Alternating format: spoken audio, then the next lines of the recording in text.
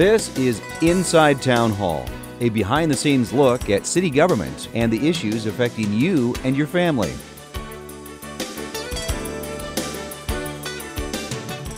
Thank you for joining us for this episode of Inside Town Hall. I'm your host, Madeline Shields. Coming up in the program, we meet one of our newly elected city councilors, Janet Brekke. We'll hear all about her plans for the future of Sioux Falls when we return. Hi, I'm Dr. Dorn. And I'm Dr. Sprunk from Falls Community Health. We're here to talk to you today about childhood vaccinations. Dr. Sprunk, did you know the vaccines recommended by the American Academy of Pediatrics for use in all children do not interfere with each other and can be safely given during a single visit? That's true. Like any medication, vaccines can cause side effects. The side effects from vaccines are almost always minor, such as redness and swelling where the shot was given, and go away within a few days. On the other hand, many vaccine preventable diseases can be serious or even deadly. Even though many of these diseases are rare in the United States, they still occur around the world. Interestingly, the World Health Organization states that at least 10 million deaths have been prevented by vaccines between 2010 and 2015. For more information, talk to your pediatrician, family doctor, or Falls Community Health. Well, in May, two newly elected city councilors were sworn in, and today we are visiting with Janet Brekke. Thanks for joining us for Inside Town Hall. Tell us a little bit about yourself and why you ran for city council. Well, I've had a, a long history with the city of Sioux Falls, and it's fun to be back, and it's fun to come back. I started my relationship with the city under Mayor Knobe's administration. You're dating yourself. I know. I know. And uh, I was an intern, I was still in law school at the time, and I was an intern in the city attorney's office.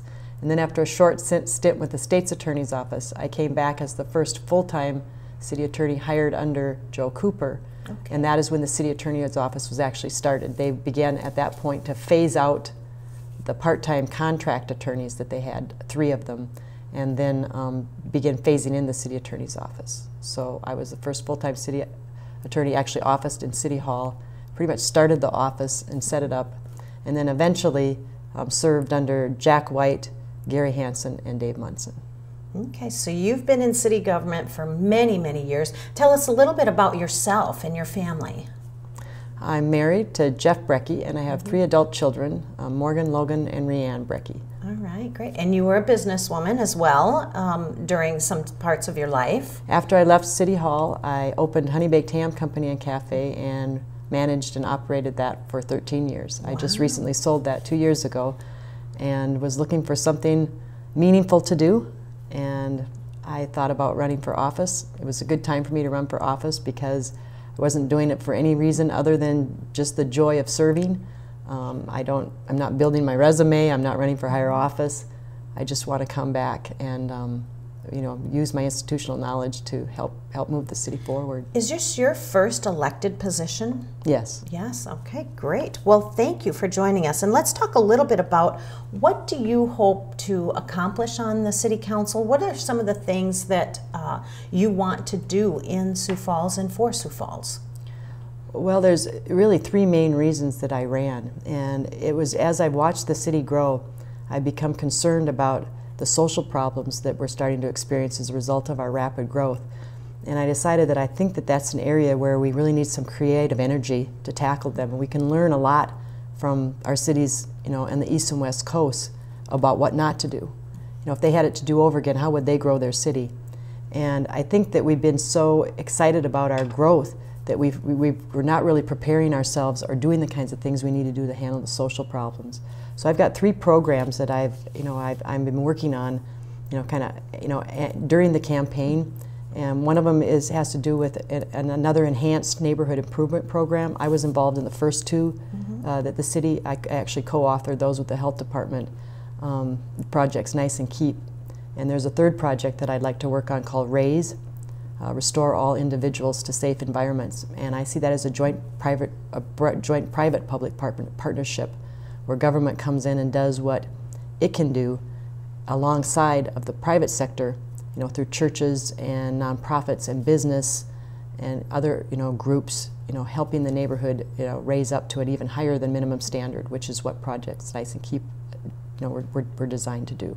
So there's that idea. Um, there's another thing I'm really concerned about um, how the original goals of the Multicultural Center were to you know, be, act as a funnel uh, for diversity into our community. And that's sort of gotten derailed, and, and I think we need to just address that whole issue, whether it be the Multicultural Center, but we need to address the diversity issue.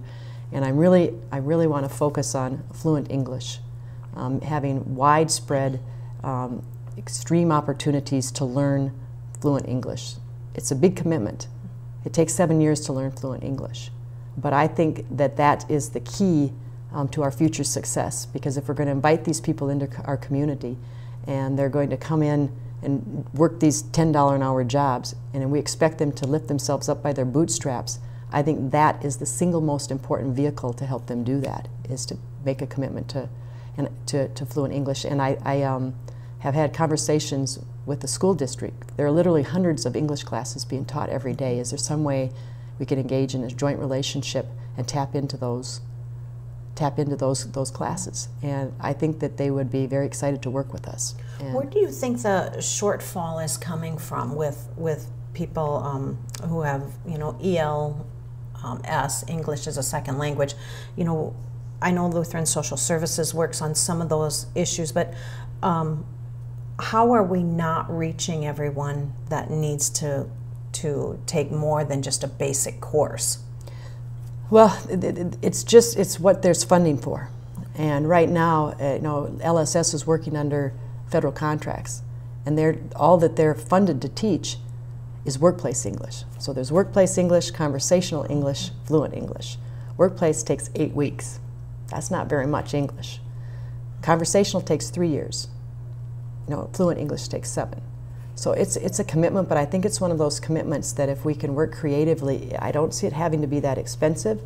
Um, you know, it's 300 people coming in a year in that refugee program. Certainly it will compound, but as they learn fluent English, their job opportunities and educational opportunities improve right along with that. You can be, you can move from being a maid to being a waitress when you can speak English, from being to a shoe salesman to going to STI and getting education.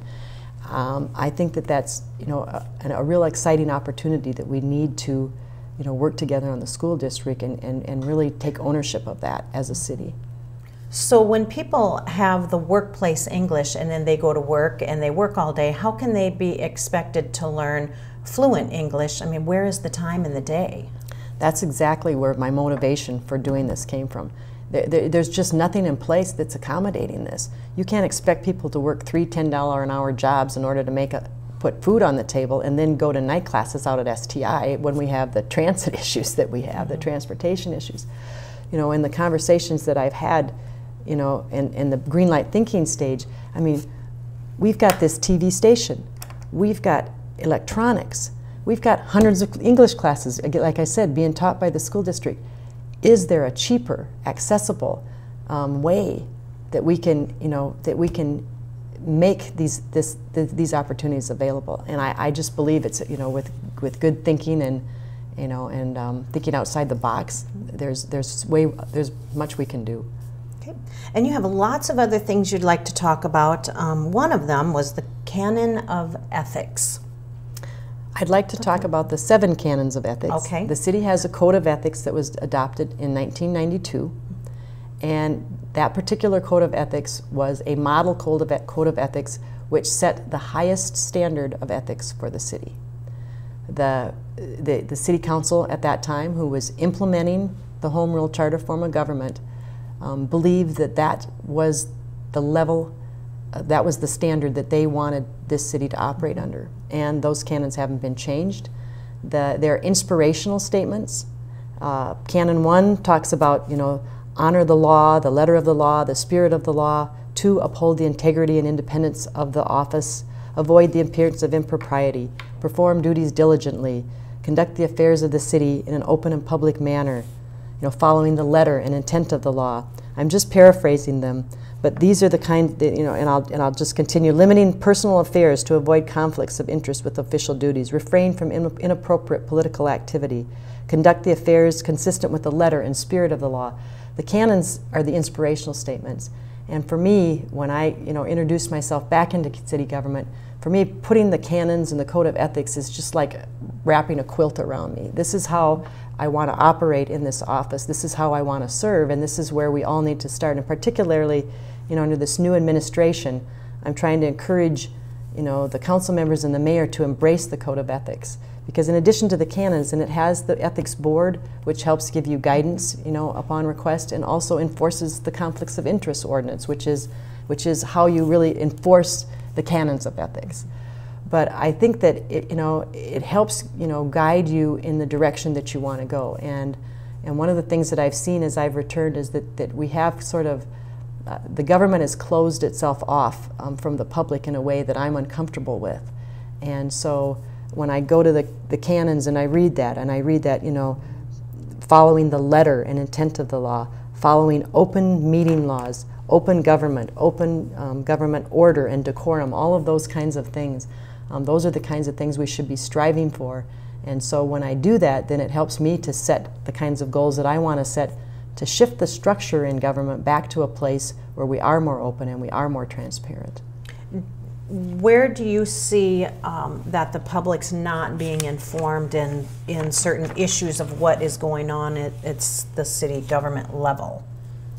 Well, you know, in good government, you know, you have checks and balances, you have balance of powers, um, and again, you really need to, you know, the philosophy that needs to be adopted is when in doubt, open it up. Not, not how closed can we keep it, how can we just barely comply, but when in doubt, open it up. We want to be squeaky clean as to the law. We want to, you know, again, embrace open meeting laws, not tolerate them. And what I see in the current structure is several things that, that do the exact opposite. You know, one of them um, is how our briefing system is set up for the council. You know, the city council as a whole, as a full body, does not receive a briefing on meeting agenda items. So we go into a, a meeting agenda, you know, our council meetings, and we've not sat down as a full body and been briefed by the staff and the mayor on what is on that agenda. That information is getting to us in all kinds of different ways. And one of the ways it gets to us is some of the council members are invited to a director's meeting every week. Some of them are not. Some of them receive red notes from this meeting, and some of them choose not to go to the meeting because the red notes are marked confidential. Um, so you've got different levels of briefing. So, you know, if I had not been given a slot, uh, you know, by Christine Erickson, our chair, because she was going to be gone. I would not have had a briefing on meeting agenda items until this August, August 8th. If you, if they do call the whole city council together for a briefing, then that is a meeting, which then everyone has to be informed of in terms of the news media and because there's a quorum, there's some. uh, Absolutely. So And are you saying that, that you want to have a meeting before the meeting? Yes. Okay. I want to have an agenda briefing meeting where we're briefed on agenda items, fully transparent with the public. I want the media to make it easier for the media to cover emerging issues. You know, if, if they should they should be invited to this meeting and welcome. They would know then that this is you know what you know the, the, the opportunity for the council to ask questions of the mayor and his staff about the items that are coming up on the agenda so that when they get to their official meeting, now's their time to engage the public. They've gotten their mayor, their information from the mayor, the directors, their questions answered. Now is their time with the public to get that final piece of the puzzle so that they can make a well-informed decision. Is that not just a repeat of of the meeting? I guess my question is is is if you have a meeting before the meeting and there's a quorum and everyone's invited to discuss what's going to happen at the meeting, it's, it's I don't know. I, my question is is it redundant? It's a time for the council to get their questions answered. Their questions answered from directors and staff, and if they need additional ma- information to make the decision, to request that from the mayor and staff. I need more information to make this decision. And yes, the, the media should be fully aware of this, and it should be a place that they're watching, and that they know that that's a place that they should be covering that from time to time, and, and watching as those issues emerge. And then at the meeting, yes, the, the staff can still, this still comes up and, and you know, summarizes the event and what's going on and, and, and continues to answer questions. But the focus of the meeting can then be about engaging the public into the process and hearing their concerns. And, and that, that is, again, the final piece that allows the council to make that informed decision. Um, and, and again, that's what that meeting's for. That's the meeting with the public. The council is the public arm of government, and they need to be you know, um, embracing that meeting with the public. It's about the public, is what that meeting is about. Sure. Uh, one of the codes that you talked about, or the canons of ethics, was conflicts of interest. Do you see uh, a problem with conflicts of interest and um, knowing that this is a part time job for people? So, you know, many, many city councilors have full time jobs um, in the private sector, then they serve as a part-time city councilor. Is is that where you see the conflict of interest coming from? You know, there's different places. You know, the, the ordinance addresses different areas, but the canons are clear that you should arrange your personal life as to create minimum conflicts, and then the conflicts of interest is you know, and, and that you should not serve if you cannot do so. Okay. okay, and then the conflicts of interest ordinance is clear that um, you know, when you have, you know, when you have a conflict, you need to remove yourself, you know, from discussion of it. Announce, you know, declare your conflict in front of the public, and then step down and remove yourself from all discussion, you know, and all involvement in the in the topic. Okay. So it provides for, you know, minimum conflicts to happen and how to address them. But you know, it is it is clear that if you if you're going to be in this position, um, you shouldn't elect to be in it if you know that you're going to have too many conflicts and have to step down from too many issues. Okay. All right. Well, at this time, we're going to take a break, and when we come back, we're going to talk about good government structure. We are visiting with Janet Brekke. We'll be back in just a moment.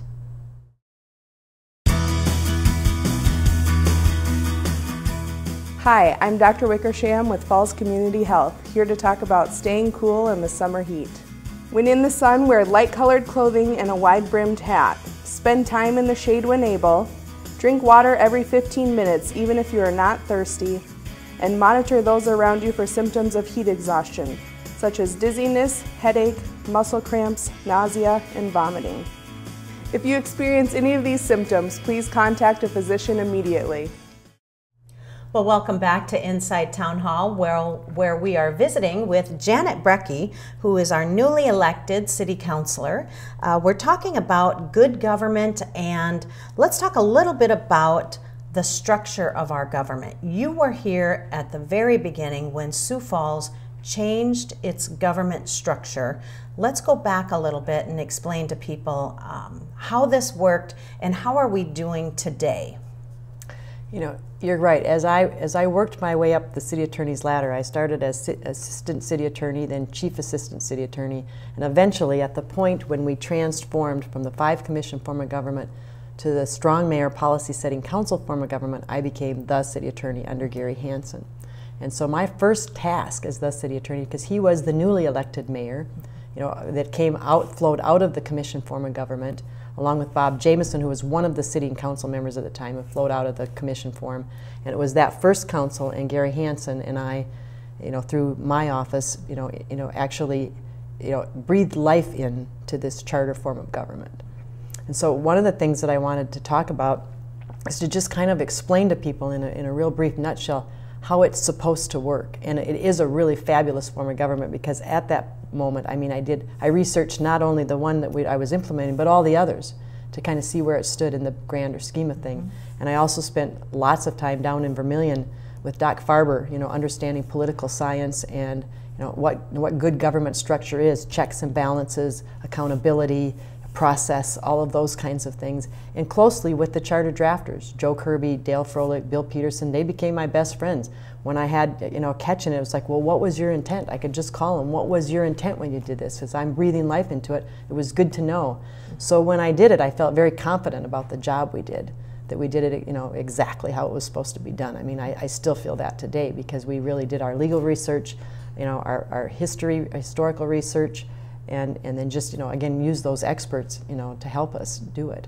Can you explain to people who may be new to Sioux Falls what was the form of government before, and then when did we adopt this new charter form of government? I'd love to. You know, through all of this, I became a government nerd. So, I mean, I really love good government. I do, and I get excited about it. This is the old form, and this is the commission form of government. Again, there was a three, and then there's a five. So this was the five piece, and I described it as a piece of pie with each council member, member, or excuse me, with each commissioner you know, having a piece of the pie. It was all defined by statute. They had their own little area of responsibilities, and the mayor was in no stronger than any of the commissioners. Sure, and so what you mean by that is we had a police commissioner who was in, in charge of the police force and law enforcement. And, and then we had a, commissioner a sewer and, and, a street commissioner. Right, streets and, and- parks and and everybody had their own responsibility and that's who they dealt with. And then we changed our form of government. Right. It became very bifurcated and dis- dysfunctional mm-hmm. because they they were so concerned with their own areas they had a difficult time, you know, seeing the bigger picture and mm-hmm. working together because it was more of a negotiation than a collaboration. And the dif- dysfunctionality kind of is what caused the success of the of the future change. Mm-hmm. And so when they changed, they changed it to the strong mayor policy setting council form of government. And I always give it the long term because over the years it's been shortened to strong mayor, and quite frankly, it's kind of evolved to super strong mayor. But that was never intended. What was intended is what I have here. I used the yin yang symbol. Mm-hmm. It's two respected bodies working side by side together, you know, in a circular fashion, in a collaborative fashion, you know, moving the city forward in a single direction. And this, you know, separated the powers versus a statutory assignment. What this did is gave the mayor all the executive and administrative powers, and the council the legislative and policy setting powers, and final oversight over the, all of the fee revenue generation, the budget, and the CIP they are equals. It's kind of a check check balance thing, a check checkmate thing for everything that the mayor does. The council has oversight over it, either in the financial way or the legislative way. And so I use this. This is kind of how I show the checks and balances. You have, you know, half on the mayor's side, half on the city council side. You know, the mayor, you know, the mayor appoints, the city gives advice and consent. The mayor, you know, presents the budget, the city adopts it. The mayor negotiates the contracts, the city, you know, does has final say. And Uh, the those mayor, kinds of things. And the mayor is a full-time job, whereas the city councilors are part-time city councilors. Correct. And so I think it's important that at the moment, it is my opinion that the council has evolved into an underutilized role. They've never evolved into the full policy, you know, the broad policy initiative, initiative setting body that they were designed to be. And the best way I can demonstrate this is through this, you know, it's a basketball, you know, what I would call, you know, an, an athletic analysis. You know, what you have in like, in the, and this is a basketball, but you could use any sport. You know, you always have that rules committee, you know, over that's, that's actually affecting how the game is being played on the floor, you know, by the rules that they set. And then you got the mayor. The mayor's down here. Mayor's coach. He controls the entire game on the floor. He can, you know, sub people in, sub people out. He, he can, everything that's going on the floor, he has the authority to make it happen within the rules that are established by the policy setting body. So in that, you know, in its best form, and when this government works best is when they become heavily engaged and involved, not in what the mayor's doing, not in his day-to-day operation, you know, you know, nor nor in you know they need to trust to have a trust in their mayor, a belief in their mayor, and much of what he brings to them should just be routine. Because if they're doing their job, they're going to be driving his direction through the policy setting function.